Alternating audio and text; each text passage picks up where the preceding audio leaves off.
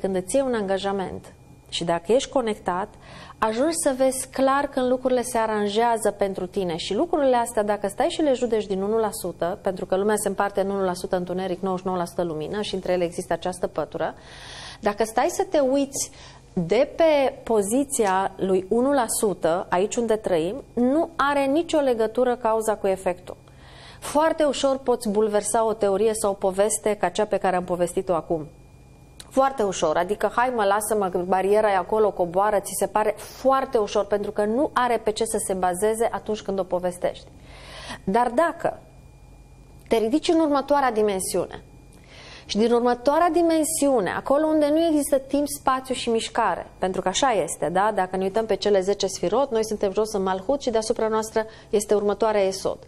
Dacă te urci acolo de acolo vezi exact că nu există timp, spațiu și mișcare și că lucrurile sunt, pre, sunt premeditate, sunt făcute de la început într-o formă, în care în funcție de ceea ce alegi tu aici de desubt, ți se întâmplă una sau alta.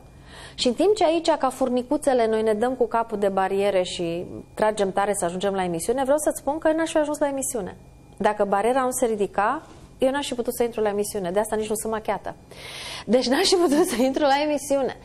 Așa că în momentul în care te conectezi la energia care există în spațiu în ziua respectivă și în momentul când începi să dai atenție la ceea ce se întâmplă, poți să dai, uh, uh, în engleză sună foarte bine meaning, poți să dai niște înțelesuri momentelor pe care le treci, înțelesuri care altfel nu le dai de coadă de nicio culoare și ar trebui, asta e așa un pic slang ce am spus eu, că nu le dai de, nu le dai de capăt de niciun fel.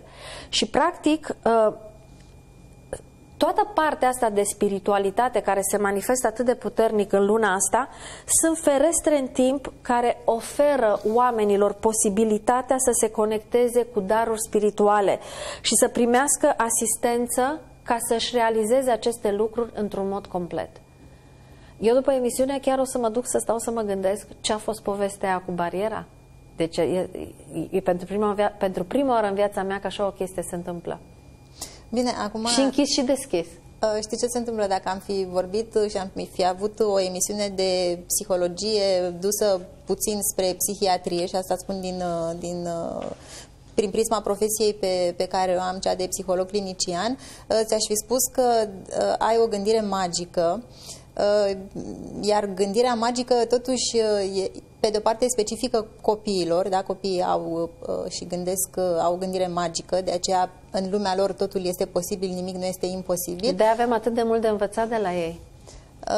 Da, chiar avem mult de învățat de la ei, dar dus în patologie poate duce către o, o altă palier, un alt palier, o tulburare schizofrenică, de exemplu. Adică spun care, cam care sunt dimensiunile și cum ar privi, că spuneai mai devreme de desfințarea, adică e foarte ușor de desfințat acest tip A, de, de imediat. gândire, pentru că dacă intră uh, raționalul, partea rațională în, uh, în joc, îți spune, da, ce să Dar zic, Mirela, e dincolo o de asta. Pur și simplu este o coincidență. Privind prin prisma spiritualității, într-adevăr, trebuie să fii foarte, adică dacă ești atent la ceea ce se întâmplă în jur, ai tot, tot timpul găsești tot felul de, sau în orice moment găsești tot felul de înțelesuri